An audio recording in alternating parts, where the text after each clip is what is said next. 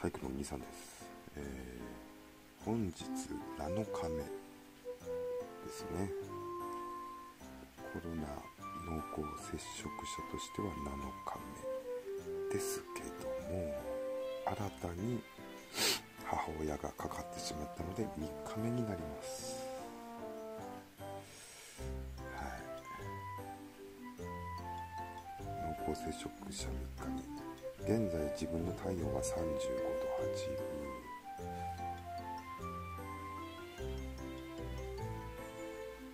喉の痛みだけですねそんなもんかな